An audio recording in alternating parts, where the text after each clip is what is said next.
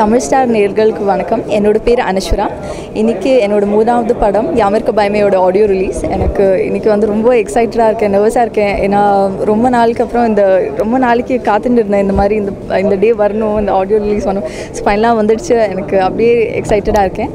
And uh, இந்த படத்தோட music composer வந்து எஸ் என் பிரசாத் சார் இது அவங்களோட முதல் படம் ஒரு கம்போசராக அண்ட் அவங்க வந்து ஒரு சூப்பர் அருமையான ஜாப் பண்ணியிருக்காங்க. ரொம்ப ஃபென்டாஸ்டிக்காக வந்திருக்கு சாங்ஸ் அண்ட் கண்டிப்பாக எல்லாருமே கேட்டு ரொம்ப என்ஜாய் பண்ணுவீங்க ஐம் ஷுர் தேங்க்யூ